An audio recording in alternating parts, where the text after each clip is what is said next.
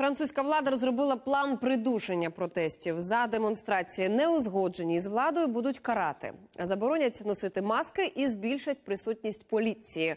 Олена Абрамович знає більше.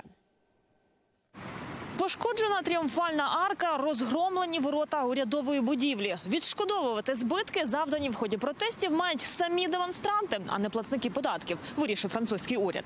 Та взявся посилювати закони. Бо наразі за такі дії французам загрожує лише штраф.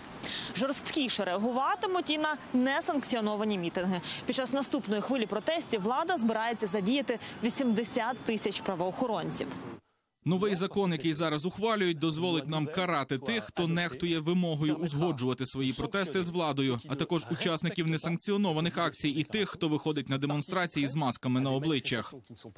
Тим часом демонстранти відкрили онлайн збір коштів для протестувальника, який побив поліцію. Ним виявився французький чемпіон з боксу Крістоф Детінджер. Його напад на правоохоронців викликав чимало дискусій серед французів.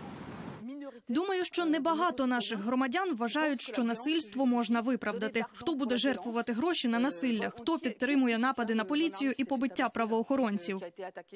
Боксер свої дії назвав самозахистом. Мовляв, у нього дружину та сина бризнули сльозогінним газом, тож він не зміг стримати емоцій.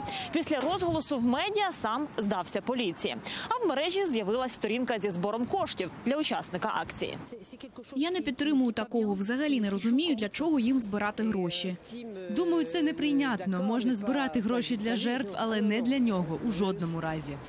Фандрайзингова кампанія потрапила під таку серйозну критику, що закрилася, пропрацювавши лише півдня. Утім, за цей час ранок вівторка вдалося зібрати понад 100 тисяч євро.